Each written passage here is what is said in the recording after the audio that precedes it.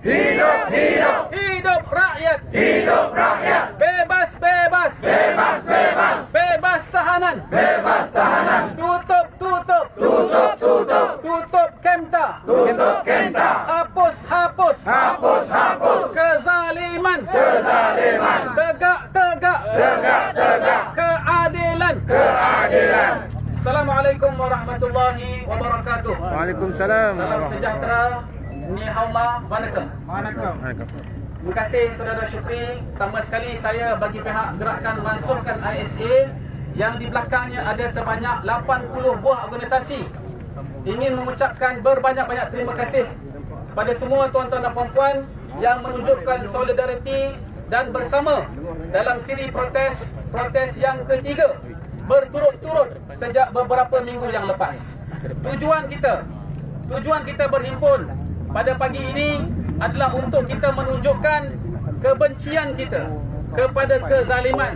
Untuk menunjukkan betapa pentingnya keadilan dan sebagaimana yang telah disebutkan banyak kali sebelum ini oleh para pemidatu kita tadi bahawa isu kita isu kita ialah berkenaan dengan keadilan.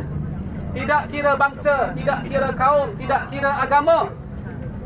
Keadilan adalah untuk semua kalau kita baca ayat al-Quran dalam surah An-Nal a'udzubillahi minasyaitonirrajim innallaha ya'muru bil adli wal ihsan wa ita'i dzil qurba wa yanha 'anil fahsya'i wal munkari wal baghi ya'izukum la'allakum tadhakkarun. Ayat ini jelas ditujukan kepada semua.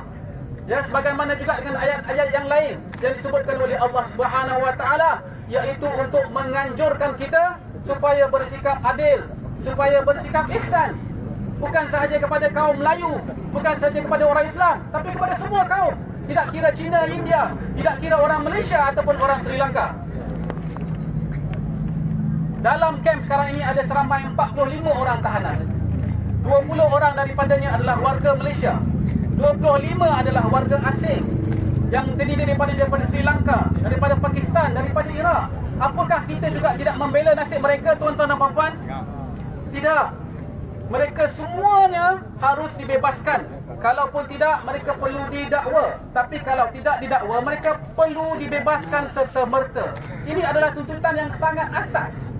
Dalam konteks hak asasi manusia, ini adalah tuntutan yang paling asas sekali kerana mereka tidak pernah dibuktikan bersalah dalam mana-mana mahkamah.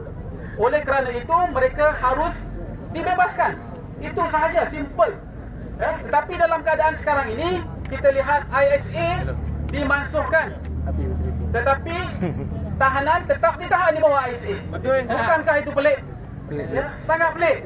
Ya, dan dalam keadaan yang sama juga kita lihat bagaimanakah tindakan pihak kerajaan khususnya Menteri Dalam Negeri dan Perdana Menteri.